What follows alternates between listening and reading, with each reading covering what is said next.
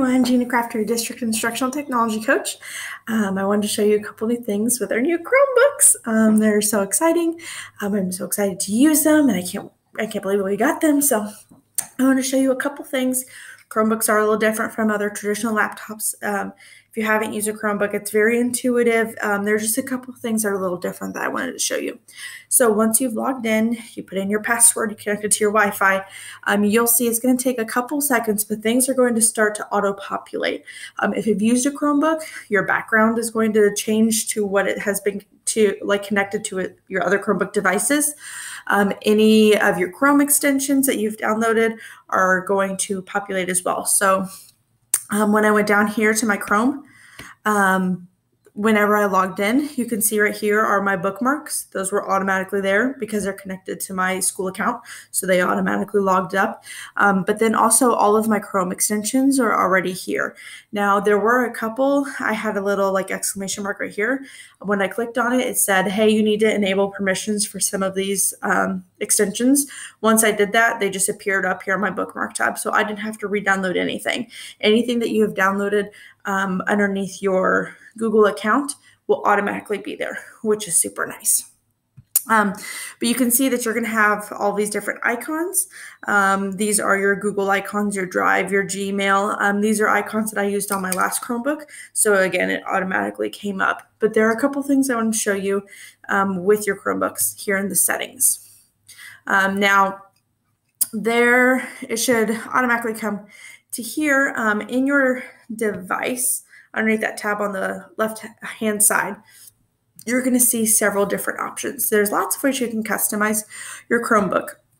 Um, your touchpad is one of them. So um, by default, it is Australian, which means on your keypad with two fingers from, if you scroll down to the top of your keypad, it will scroll for you. Traditional means the opposite way, which means on your keypad with two fingers, you go from the top to the bottom and that scrolls for you. Most people like traditional. I personally am weird. I like Australian, um, but it is by default Australian. So if you're you're using it and it seems like, oh man, this just doesn't make sense, um, maybe switch to the other type of keypad and see if that works better for you. Um, there are other things you can also personalize um, your wallpaper, different things like that. Um, you may see some different things like right here. This little icon next to a couple of different things essentially means that this is managed at a district level. So there are some things on your Chromebook that are managed at a district level that cannot be managed um, by you on like on your specific Chromebook. Um, so if you see this uh, little icon, that means that you can't change that one thing, but there's so many different things that you could personalize on your Chromebook. Um, one thing that is different is on your Chromebook, when you download something, it's going to automatically help you store it on your Google Drive.